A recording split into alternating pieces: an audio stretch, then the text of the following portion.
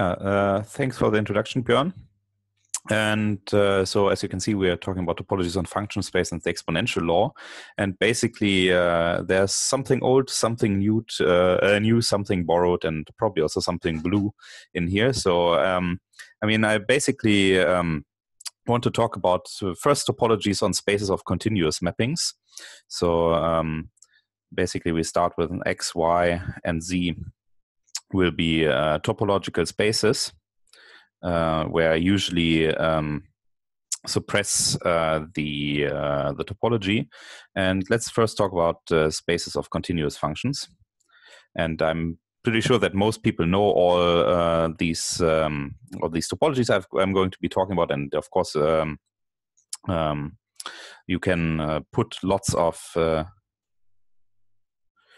topologies on function spaces um, but uh, I want to focus basically on um, uh, on uh, two topologies, and then later on uh, talk a little bit about the exponential law, which I'm uh, I guess also many people are familiar here. Um, and then later on we'll uh, we'll continue on to differentiable functions and and how to sort of raise this from the realm of topological functions to so, from the realm of continuous functions to differentiable functions okay and um, so um, uh, for the uh, space of continuous functions um, we want to discuss some topologies. Um, and I denote the space of continuous functions as usual by c x y. Uh, so the continuous function from x to y.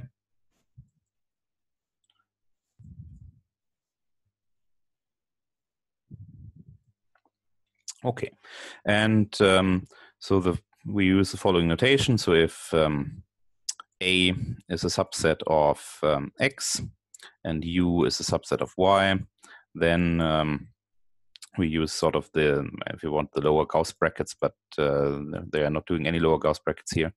So I define some sets. Those are all the continuous functions from X to Y, such that uh, f of A is contained in U. And um, we use these sets to define subbases for topologies on uh, CXY.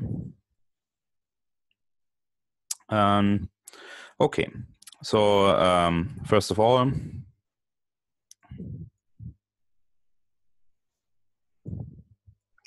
um, the topology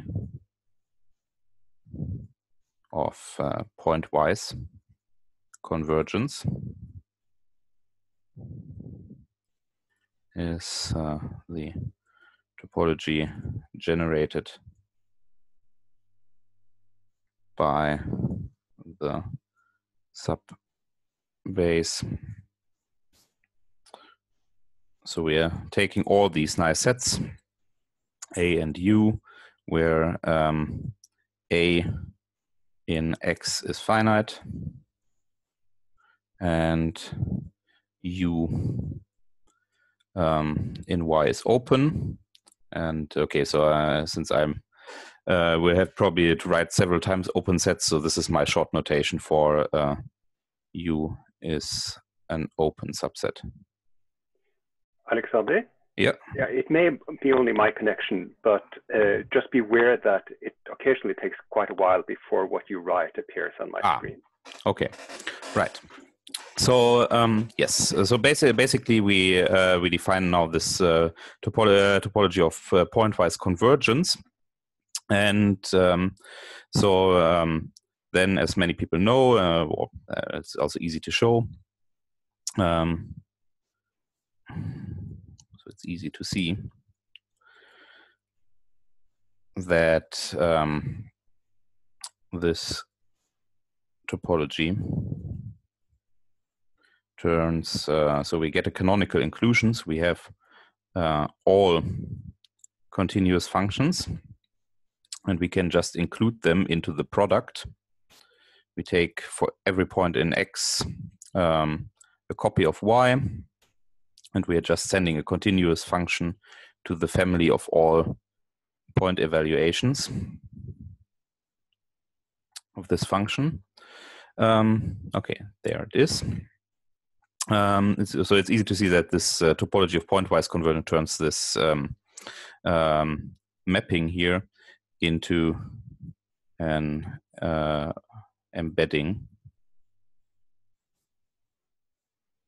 onto a subspace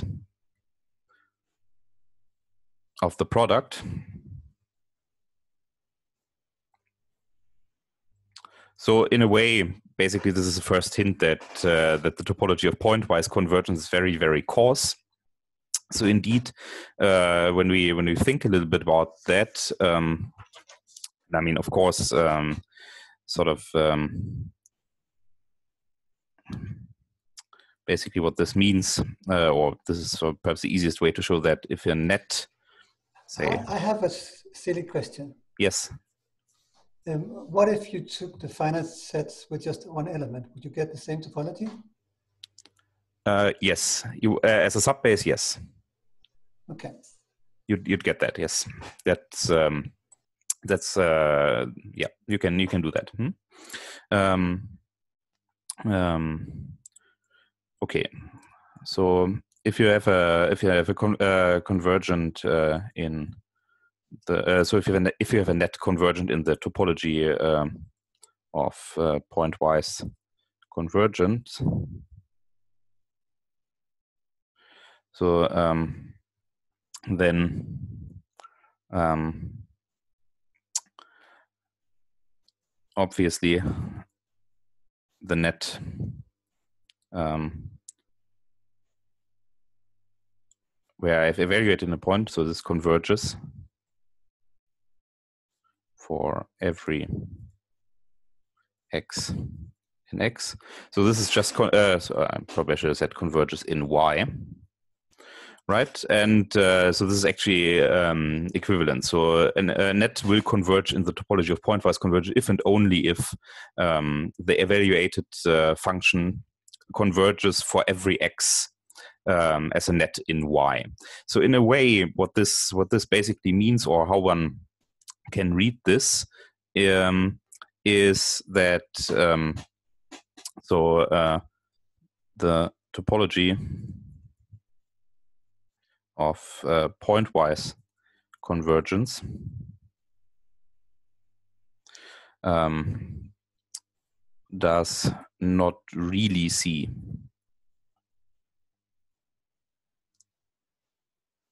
the topology of X yeah, so in a way, I mean, obviously we're we're putting it in a product and we take as many copies as there are elements in X, but uh, so the topology of X is, is not relevant for uh, convergence in this topology of uh, um, of pointwise convergence. So this topology is very is very coarse. Um, um, basically, we want to find a topology, and then our aim is also to find a topology which somehow knows something about the topology of the source, or at least takes some topological information from the source and um, and does something um, with um, with this topological information. Okay, um, so this basically leads us to a second example.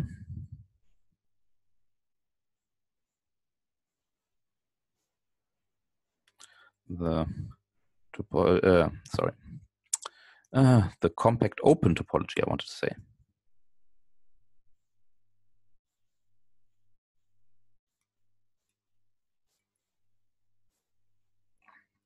Okay, and uh, again, uh, is this is the topology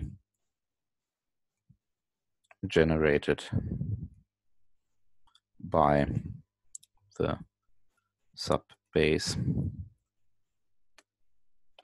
Okay, here we take A and U again, but now A runs through um, all compact subsets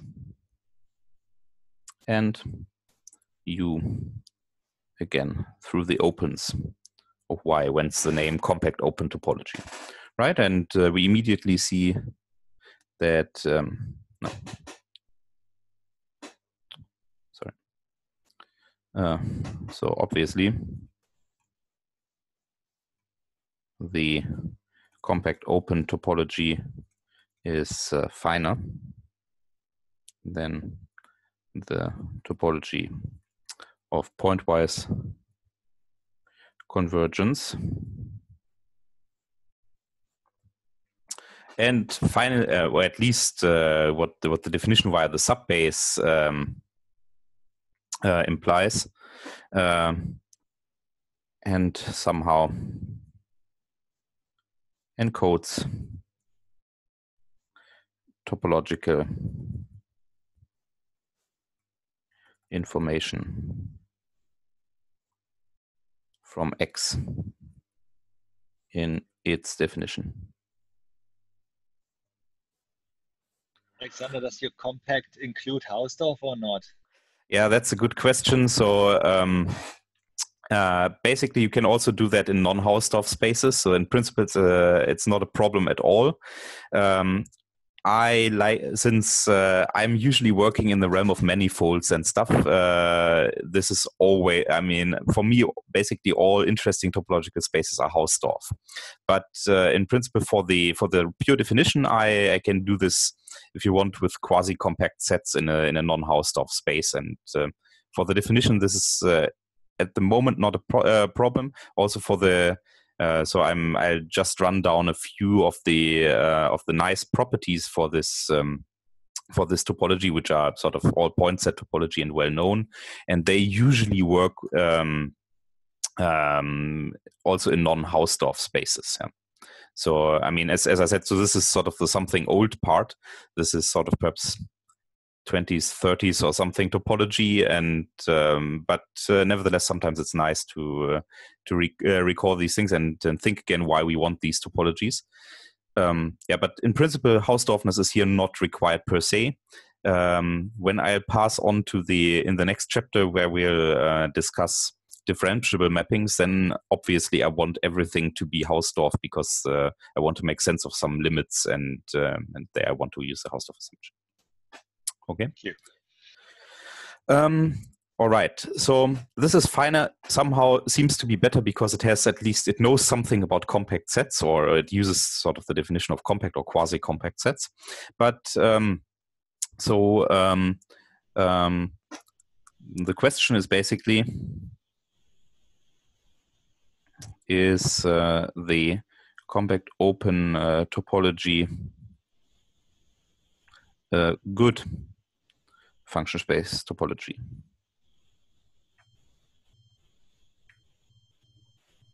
Okay, and as I've phrased this question, um, the question, uh, um, oh, Ah, okay, sorry. Then the compact open topology is from the 40s, yes. So I, I read just the meta comment uh, that this was first done by Arens, I think, at least in, in this uh, in this setting. And I thought Arens was older, but okay, might be that. Right. So, and as I phrased the question, basically this question is, is ill posed because uh, we have, I mean, what do we mean by good function space topology? Let me let me give a few a few criteria for uh, what we mean by good function space topology. Uh,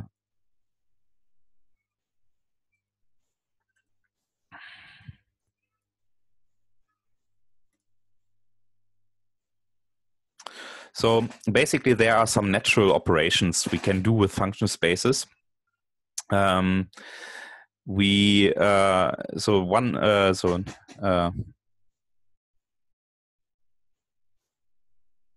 for example, if I have a function space xy, then I can uh, write down the evaluation mapping. So can basically take, uh, I mean, which is basically defined, we take f and a point and just evaluate this one in the point. Um, so this is evaluation mapping. And it would be nice if our topology is, is built in such a way that um, this evaluation mapping should uh, be continuous with uh, respect to a good topology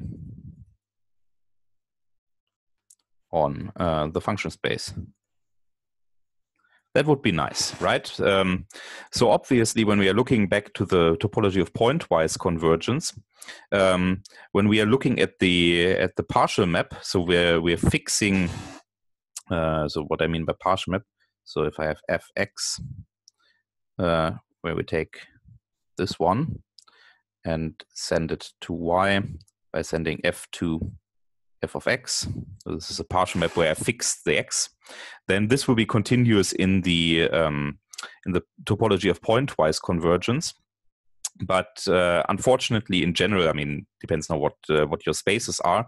In general, sort of the um, the full evaluation map, where you are allowing your points to vary in your topological space X, will not be continuous in the topology of pointwise convergence. Okay.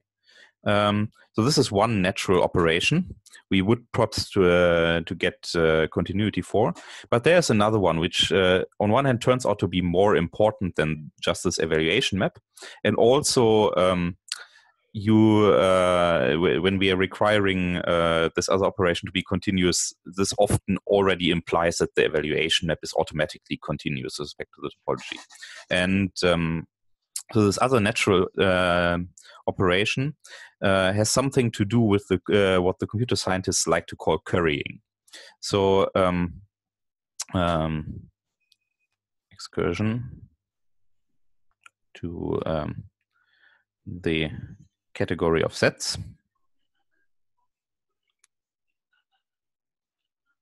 Yeah, don't get me started now on uh, on set theory. Uh, we we just uh, so if I um, uh, so I, I, just want to use the notation which is usual in the in the category of sets to motivate why uh, why this property I'm going to talk about will be called the exponential law.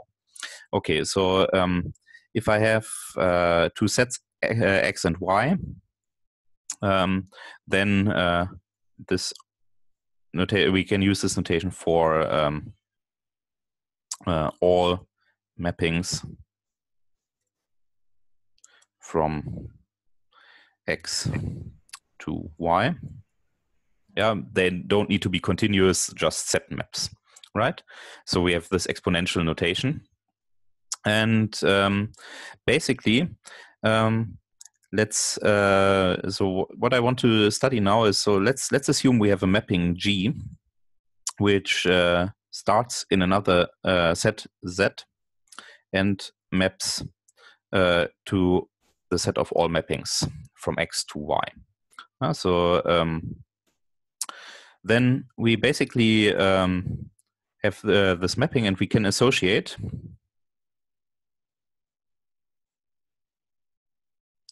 to G a new map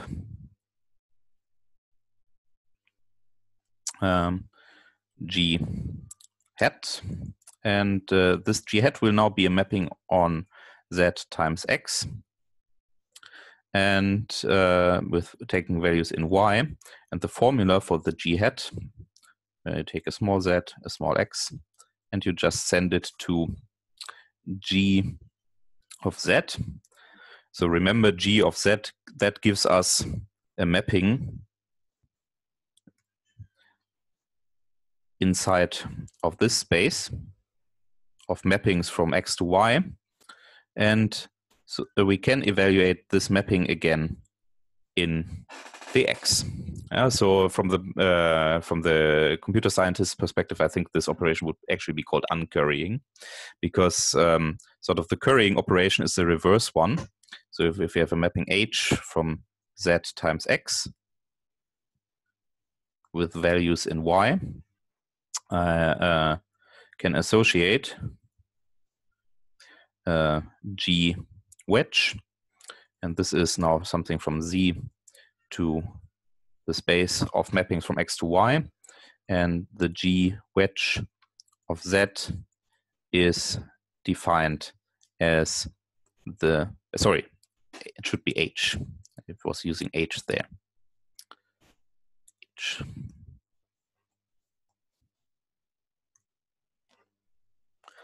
H wedge of Z should be h of z, and then uh, we have a blank in here, right? So I, I end up with a mapping from uh, x to y. So this would be the currying operation, which I understand computer scientists like because they can uh, transform functions from uh, of two variables by hiding one variable in the in sort of a function space uh, into uh, um, a sequence of functions of one variable. Yeah? So that's why computer scientists like that. And um, the question is, of course, when um, do these operations take continuous functions to continuous functions.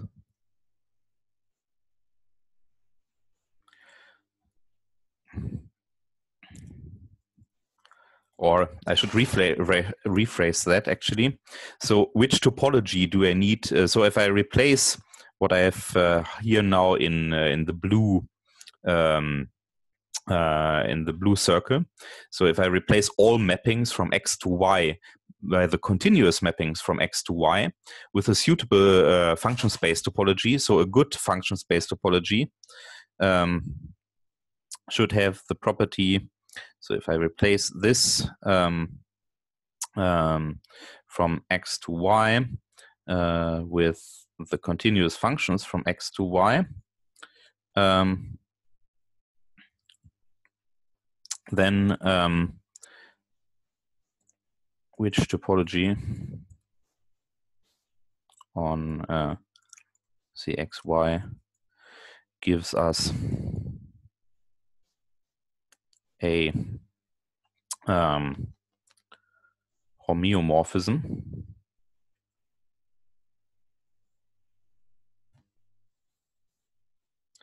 from C of Z, C, uh, xy to c of z times x into y. Uh, so, I mean, that's a question one one can ask. First of all, it's not clear at all whether it makes even sense. I mean, as set maps, I can always do the wedging and, and the hatting, and uh, they are mutually inverse. So, as set maps, this always makes sense.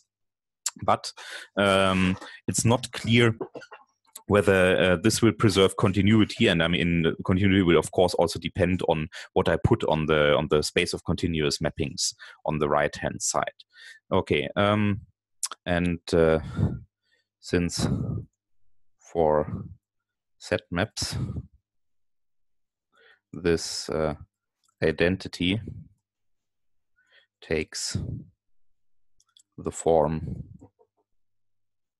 So i take uh, y to the, if you want, power of x times, uh, sorry, uh, let's let's write it the way I've written z times x, and this should be, uh, well, this is in bijection when uh, when it comes to set maps to uh, y to the power of x to the power of z.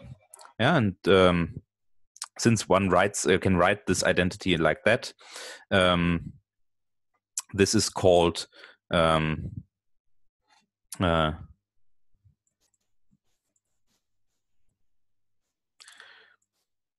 the exponential law.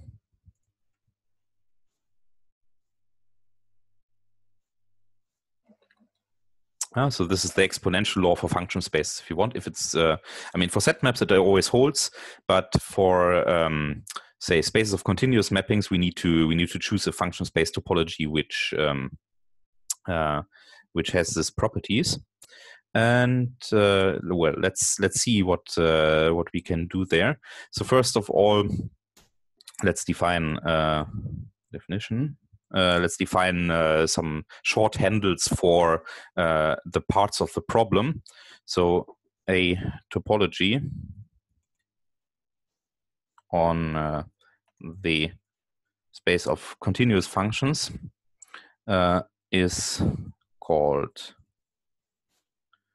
and basically we have we have two um,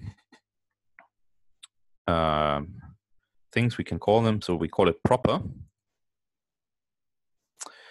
uh, if for all topological spaces Z and uh, G in C uh, Z C X Y. Um, the map uh, G uh, what is G which belongs to uh, C Z times X with values in Y, right? So this is one part of this exponential law. So we want basically when we uh, when we wedge stuff, then it should be uh, should be in the in the function space on the product, and uh, we call it admissible if for all topological spaces Z and um, G um, ah sorry I was I think I was screwing up my notation so this should have been a hat. So now we are taking a, um, a G in the mappings from the product with values in Y. Um, the map G wedge is in C from Z with values in C, X, Y.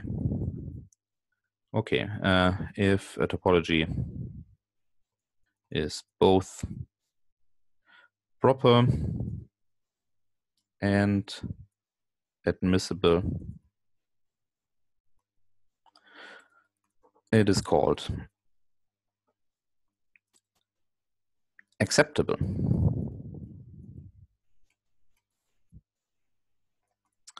Okay. Well, this is this is now just uh, just naming. Um, Can I just put my words on these? Yeah, sure. So proper and admissible. That's two maps in different directions that are continuous. Proper is one is continuous, admissible the other one, mm. and acceptable is then homeomorphism. Yes. Uh, so on one on one hand, it uh, acceptable acceptable also shows that it's a bijection, right? So um, um, because you, I mean, you can you can always uh, sort of if you had the uh, the wedge, then then you're back by, uh, with the uh, with the original map. The question here is really sort of what happens to the continuity exactly. Yeah. So um, yeah, if if you want, uh, you can basically you can basically phrase it like uh, continuity of a mapping, um, say from the continuous function from z with values in the continuous functions into continuous functions on a product. And admissible is then um, either openness of this mapping or uh, the continuity of the of the inverse of the mapping, right? Um, you do not. So in proper and admissible, you don't demand that the hat operation or the v operations themselves are continuous, do you? Um, no, not uh, not yet, but um, um, not yet, but but this will uh, this will basically then pop out from the topologies uh, topologies we have there. Yes. Um, okay. Um, so the point is um, ba basically uh, let let me give you um, uh, so another way of, of how one can um, uh, how one can understand this proper and admissible properties.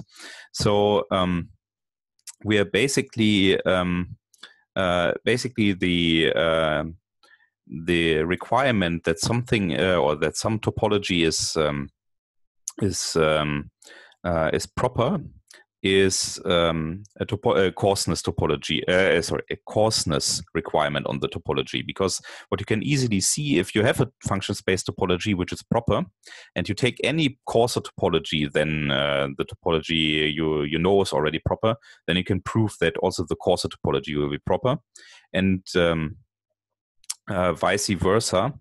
Um, this is um, uh, this is uh, for uh, if you have an admissible function space topology, um, and you have a finer function space topology, then also the finer topology will be a um, an admissible function space topology.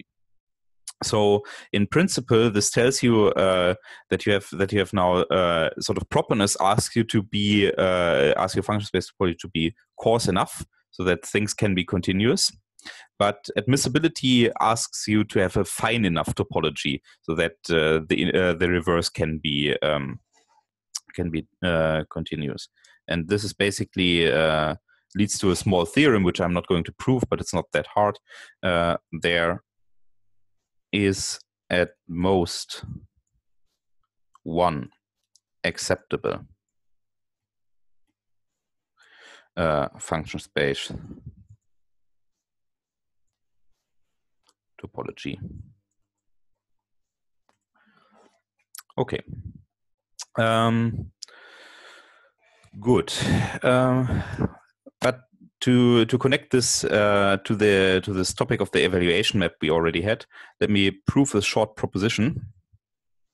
If uh, a topology is admissible,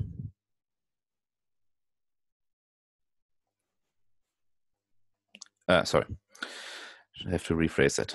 A topology. Can I just ask to that theorem?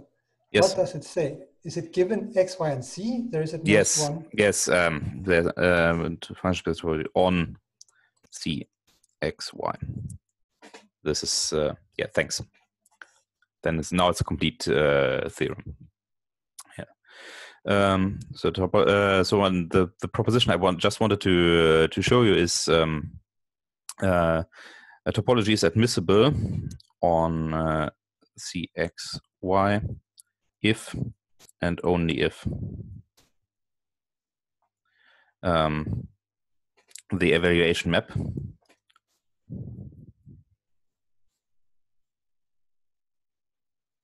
is continuous. Uh, so this is uh, this ties nicely this um, exponential law to the continuity of the of the evaluation map, and uh, so the proof is quite instructive of how uh, how you work with these uh, with these things. So let's assume that our topology is admissible. Um, so uh, if it's admissible, then we know that for all topological spaces, we have um, that uh, the wedge of a mapping is continuous, right? And um, so if uh, the topology is admissible,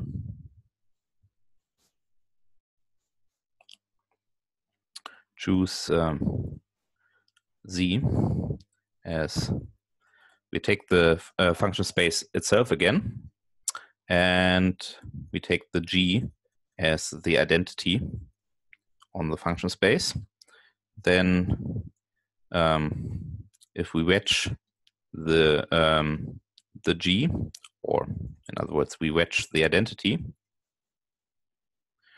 then um, okay. Uh, what happens there? So let's let's briefly. Oops, sorry. Um, um,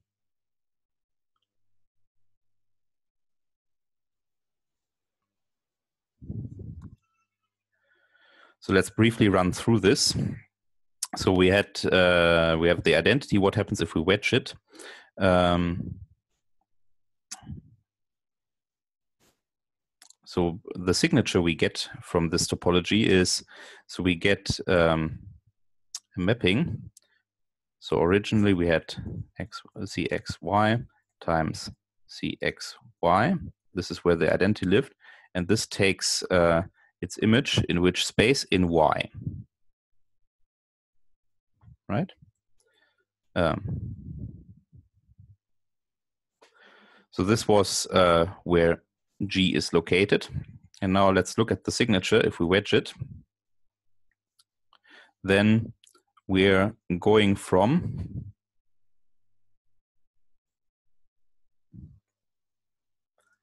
um,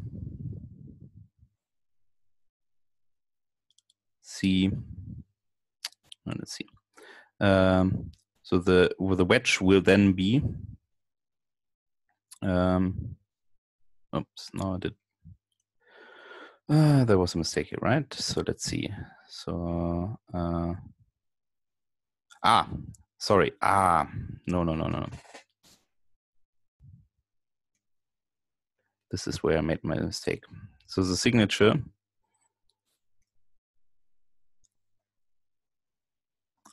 So we um, we have the z replaced here, right? So this is cxy, and we have times x,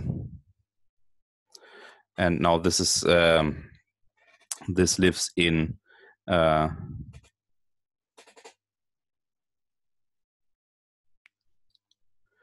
um, I do it the wrong way around. Yes, you do it the wrong way. Yes, From. CXY to CXY, and then you. Uh, Yes. Uh, so I needed properness then probably, right?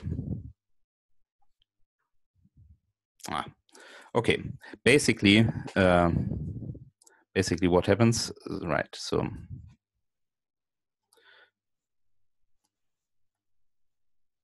so like this. Okay.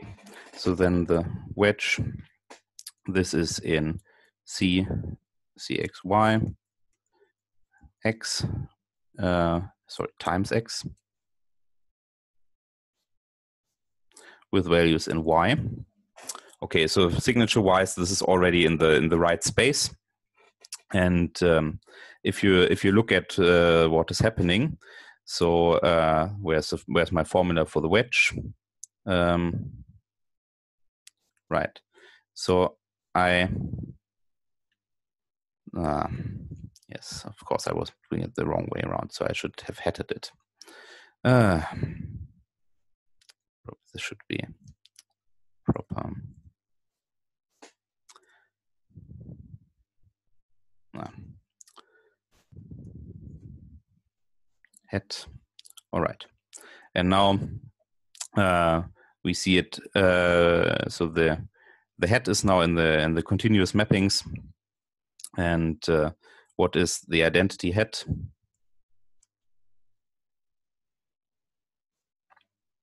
So we basically um, take now uh, a function f and uh, an x, and by definition, this is now uh, the identity um, well applied to the function f, and then I have to evaluate it afterwards in x.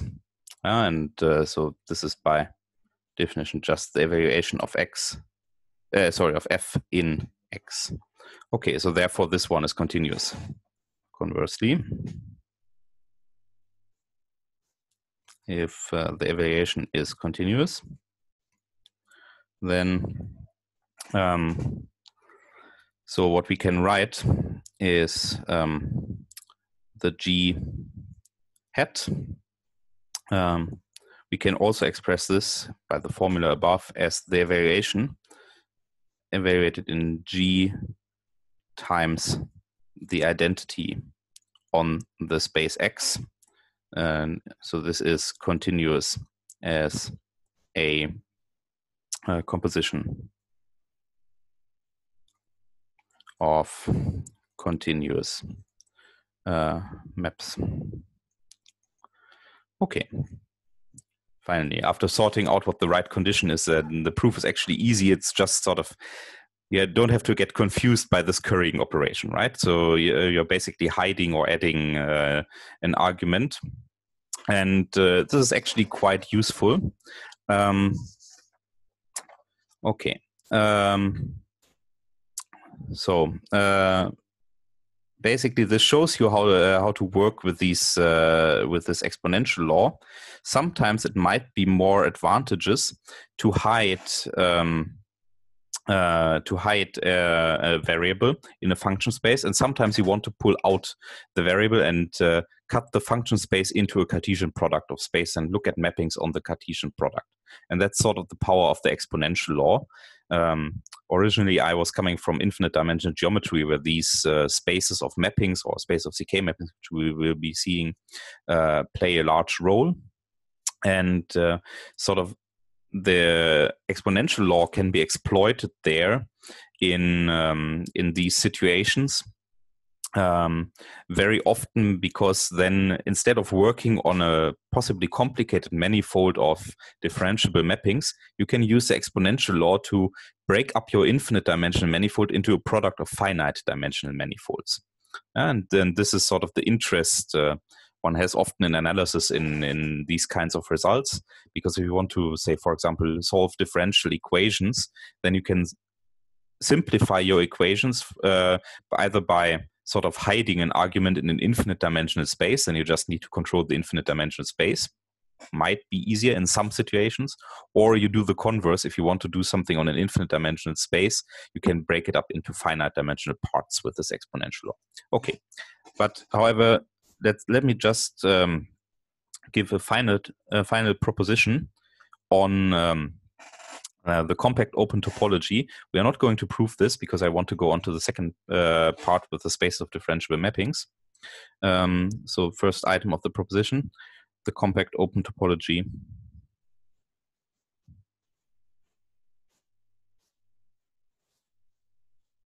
is always proper.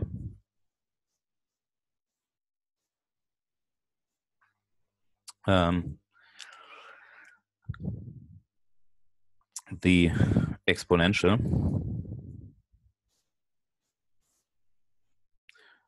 thus induces uh, uh, an embedding.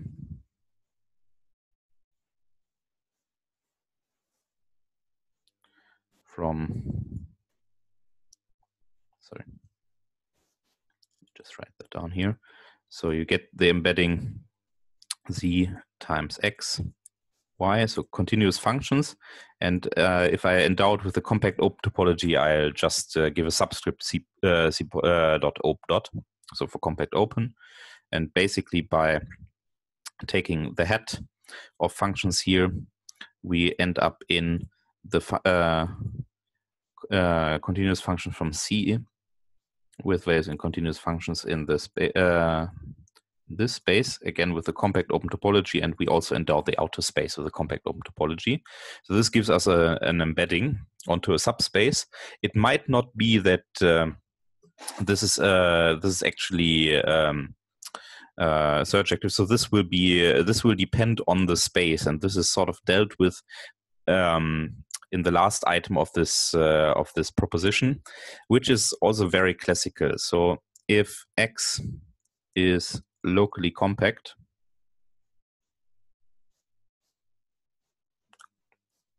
Um, the compact open topology on CXY is acceptable.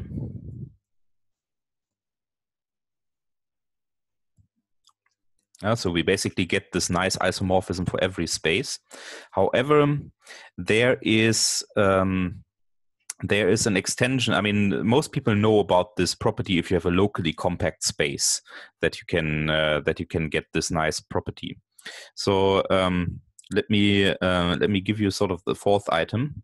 If um, z times x is a k space or compactly generated space. So let me recall um, uh, space um, let's say um, T is a K space if um, say um, A in T is closed if A intersected with K is closed for every compact subset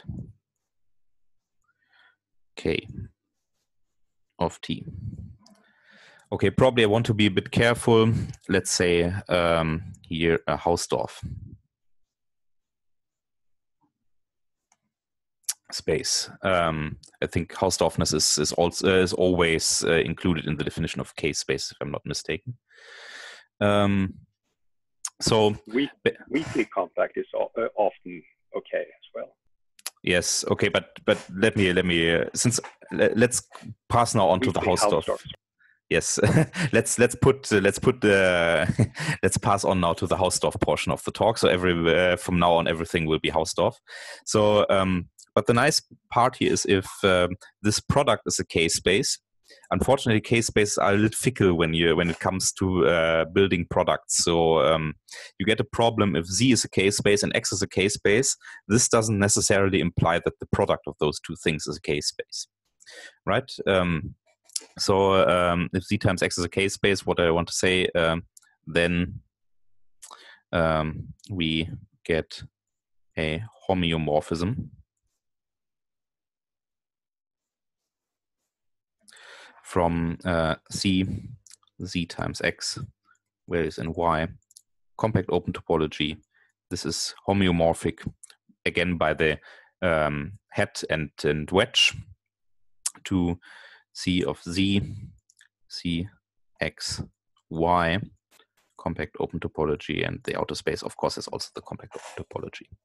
And um, so this is part of uh, you might have seen uh, if you're working in algebraic topology this uh, paper by steenrod um, uh, on a convenient uh, category of uh, topological spaces where um, basically compactly generated spaces are um, are the object of this category he is dis- uh, discussing, then um, unfortunately you have to i mean just to go off on this tangent if you want to have this category and um, and want uh, cartesian closeness meaning that also the the function spaces are again in there so you put on the function space as a compact open topology unfortunately this will in general not be a k space again so you have to um, Kelleyfy it. Uh, so, uh, so there's an operation by uh, which you can turn your topology into a compactly generated topology.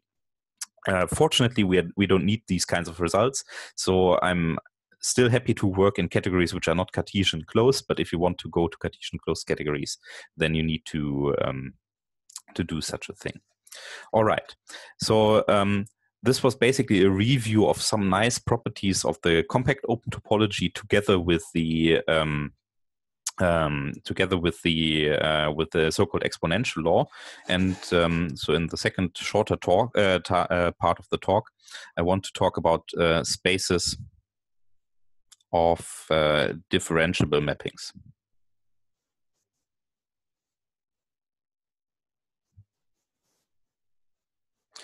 and um, I'm only giving you cartoon versions of the of the results. So um, also these results hold in in much greater generality, but to um, basically uh, go around some technicalities, um, I want to only do it. So I let I and J be uh, compact non-singleton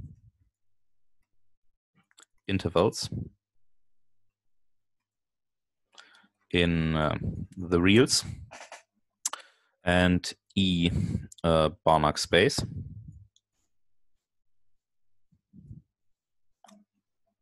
Um, probably should also, so we use the usual symbol for the norm.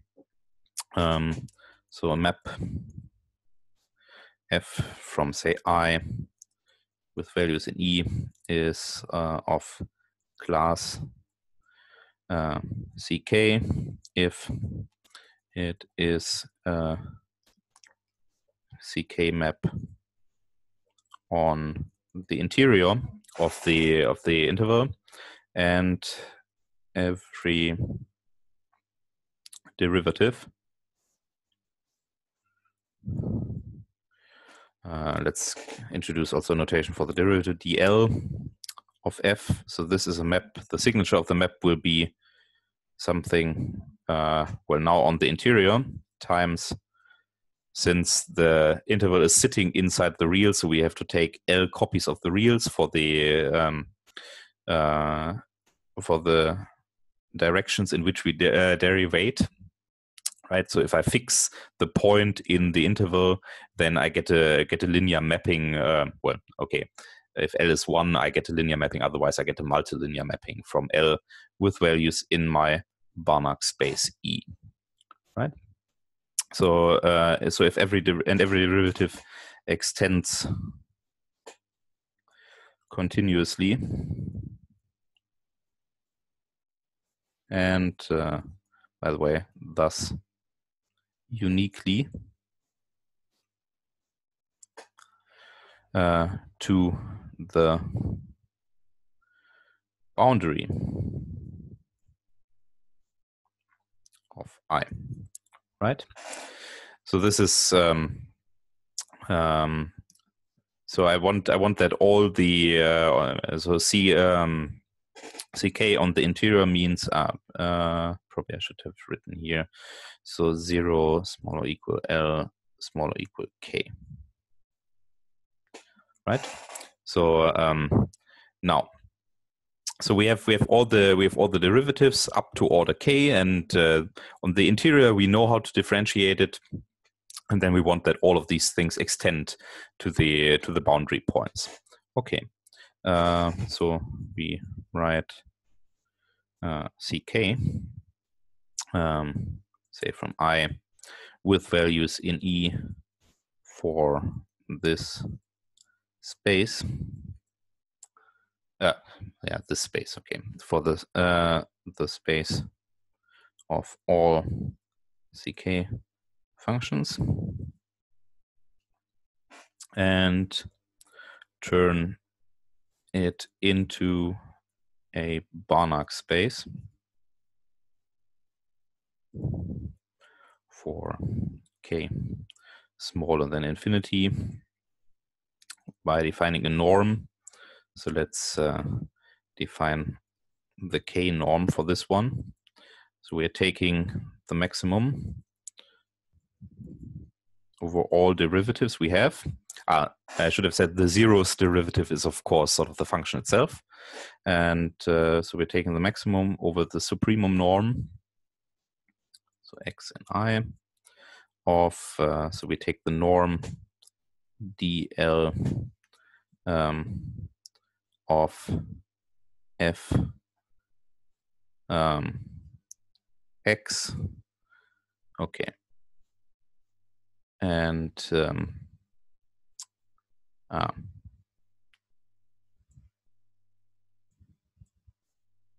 let's take the operator norm here. Right? So if i fix the x i get a linear operator from a bunch of copies of the reals with values in in a, in a Banach space can compute the operator norm of that because of uh, because of continuity and compactness of the interval i. The supremum over all elements in the interval is, is finite for these operator norms, and uh, well, then I, just take the uh, the maximum of these, and one can um, then uh, see that this gives us a Banach space topology, and moreover. Um,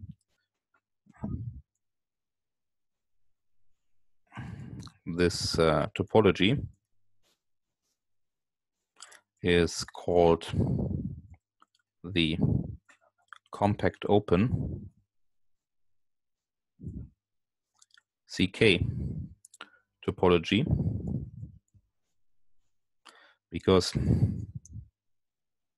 one can show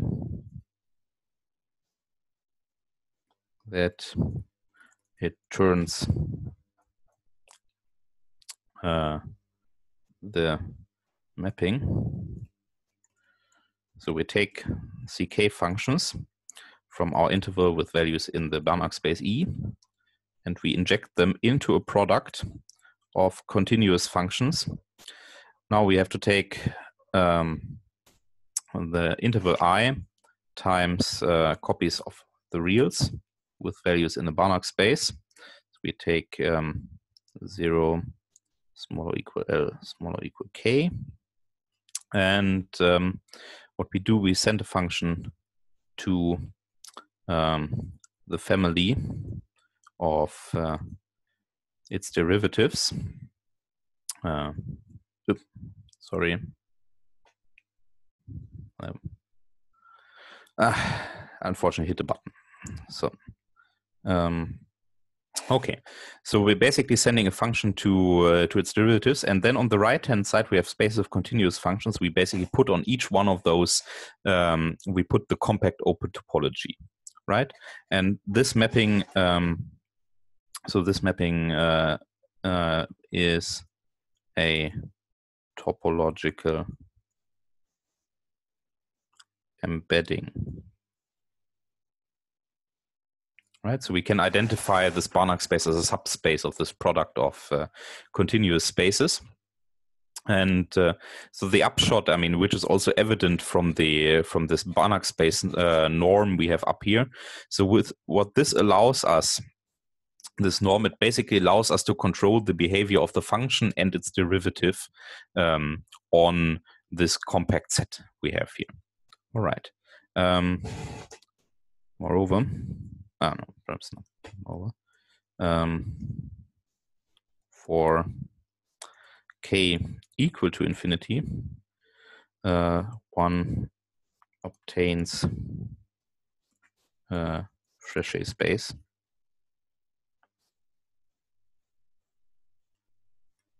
topology on the C infinity functions from i with values in the Banach space. So as a set, I can write them as uh, the intersection of all the CK functions uh, from the interval with values in E. And um, so basically, uh, I can realize this um, as um, a projective limit of uh, Banach spaces. Yeah, so um, this gives rise to the so-called compact open uh, C infinity topology, and sort of um, the difference, um, which is also sort of kind of the defect of why the C infinity functions are not a Banach space. What this what this compact open C infinity topology allows us to control is um, we can control uh, on the compact set a function and up to finitely many of its derivatives, but not infinitely many topolo- uh, de- uh, derivatives at the same time. Yeah, so the compact OpenC infinity topology allows us to control up to finitely many um, derivatives uh, in a uh, in an open set condition, and uh, but not infinitely many, right? And um, so this is sort of the the difference between the ck function and the c infinity functions. Basically, as a if you want to, uh, I mean, all of these things are locally convex topological vector spaces, but the C infinity functions um, are not a Banach space; they are just a metrizable space. Uh, so the topology there is is worse if you want. Okay, um, now, um, since all of, uh, say, the CK functions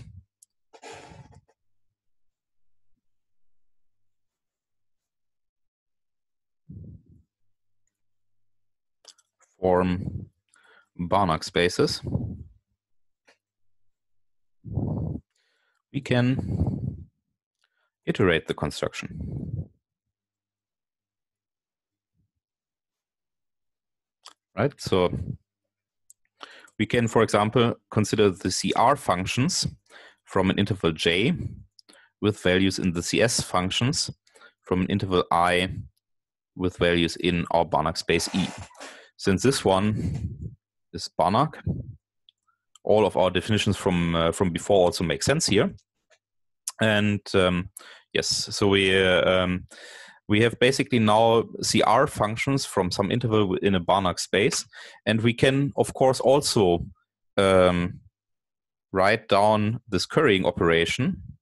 And we can ask, well, does this guy end up in some sort of space uh, of continuous or differentiable functions defined on a product j times i with values in a Banach space and um, well sort of uh, i mean at least uh, since all my differentiable functions are continuous and if we remember um, the theorem here. So if X is locally compact, then the compact open topology is acceptable. So I mean, at least what I what I would uh, what we can expect from this topology we have here is um, that if we um, put uh, on the right hand side the compact uh, the continuous functions and the compact open topology, then uh, we definitely will get uh, a mapping from the left hand side to the right hand side.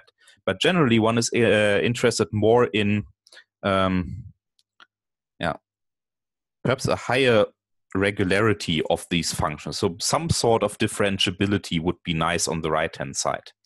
And um, so this is uh, um, so the classical exponential law in uh, this setting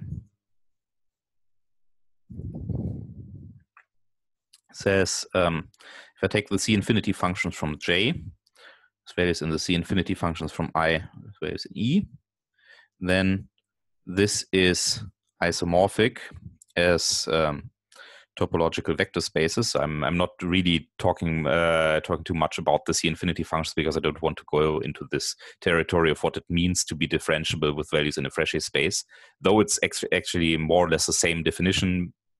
To be a bit more careful with the operators because there's no operator norm and so forth. But um, okay, so what we get is C infinity functions from J times I with values in E. Yeah, so um, basically, C infinity functions from J with values in C infinity functions give us C infinity functions on the product. However, I mean, this is this is also um, more classical, and, and you can find that in many places in the literature that uh, this exponential law exists. Um, so all spaces here with um, the compact open C infinity topology right? And uh, however, the the thing is more interesting, and there we are. Uh, well, this is a something borrowed part. Um, so what is um, what is what is happening with the if I have finite uh,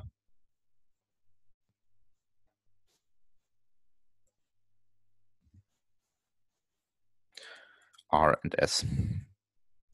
So basically, um, with C infinity, everything is fine because we can differentiate in uh, all things infinitely uh, um, uh, infinitely often. Um, but let's see um, what we really mean. So we have here uh, the R times differentiable and the S times differentiable.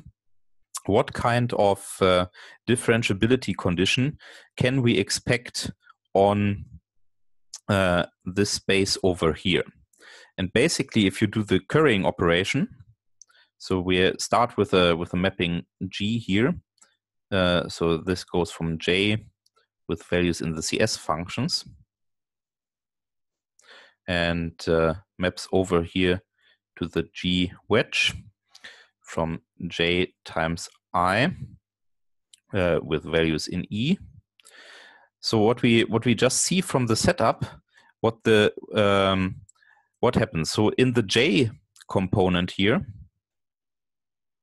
uh, we should be able to differentiate up to R times, right?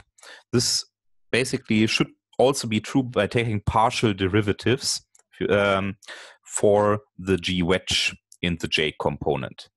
But afterwards, on the um, right hand side of the original map, we end up in a space of CS functions and um, toying a little bit with the idea.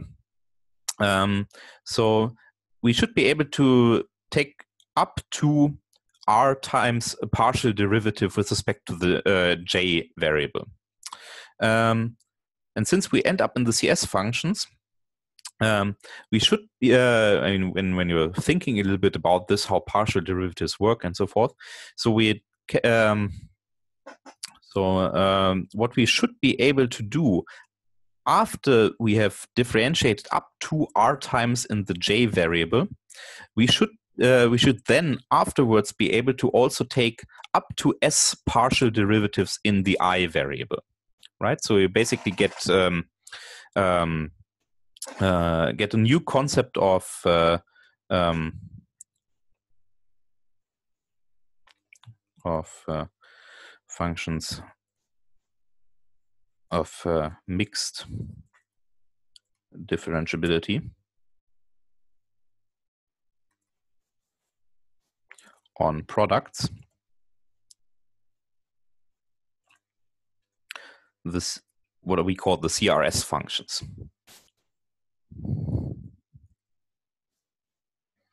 So if I have an f from i, uh, sorry, let's keep let's keep the notation from above. My first variable was called j times i with values in e. Uh, so this is CRS if we can take up to r partial derivatives with respect to j and then afterwards up to s partial derivatives with respect to i. Okay, so this gives us a new function space, and actually you can put um, so um, in base. Um, so this is actually not that new. So there's a paper uh, um, which was published five years ago about this, uh, and whose sole purpose was to prove the following theorem. So if you have CR functions, say from I, with CS functions from uh, sorry, screwing up I and J again.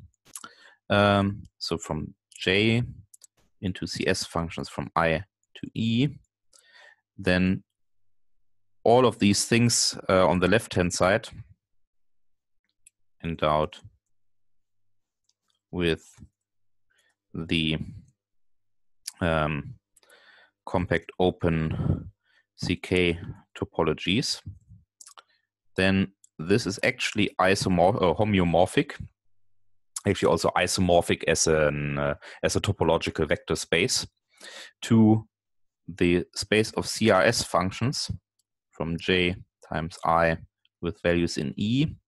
And I haven't explained to you the, what uh, is the right topology on the right hand side.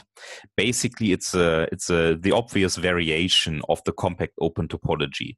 So this uh, is um, you take uh, the compact open CRS topology, which allows you to control up to r times uh, derivatives in the first component and then afterwards up to s times uh, derivatives in the second component right? And you basically have sort of a mixed thing. So i'm skipping here lots of technical details. You might wonder if you are if you have these crs functions i was putting in the definition here that you need to differentiate first with respect to the first component and afterwards with respect to the second component. You might wonder because the um, can I not first uh, can I now define a, a, variant of this CRS functions um, dash or something where I first always differentiate with respect to the second component and then afterwards with respect to this first component, and by some uh, easy calculus exercise.